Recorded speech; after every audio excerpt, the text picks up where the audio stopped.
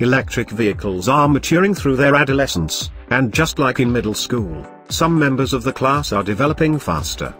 Tesla and Chevrolet now have electric cars that will travel more than 200 miles per charge, but the vast majority of battery-powered cars are still limited to a 60 to 90 mile range. In the next decade, the electric car promises to blossom into something that doesn't require sacrifices in practicality or price when compared with a gas-fueled car, but until the EV's pimples clear up, we have plug-in hybrids. With both a battery and a gas tank, plug-in hybrids strive to be everything to everyone, especially buyers who drive too much to deal with range limitations or who don't want to spend much time plugged into a charger.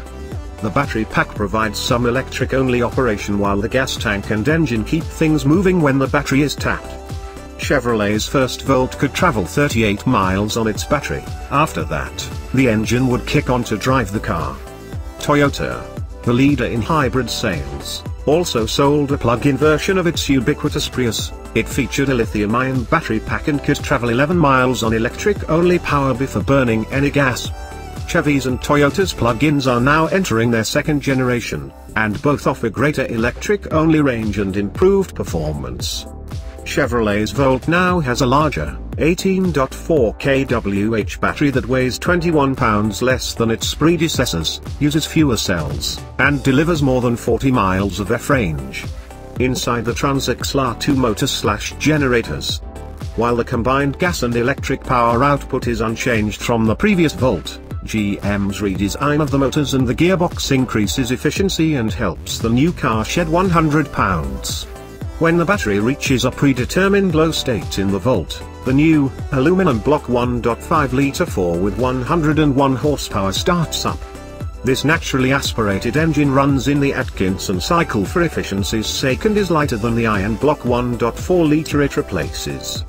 Even when the Volt switches to hybrid mode, the battery isn't completely depleted.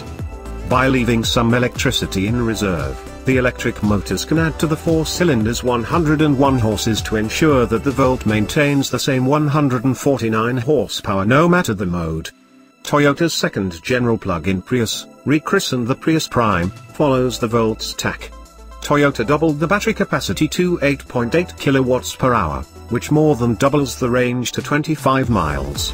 The lithium-ion battery pack lives under the cargo area and powers the two electric motor slash generators inside the transaxle, which can combine for 68 kilowatts of output, or 91 horsepower.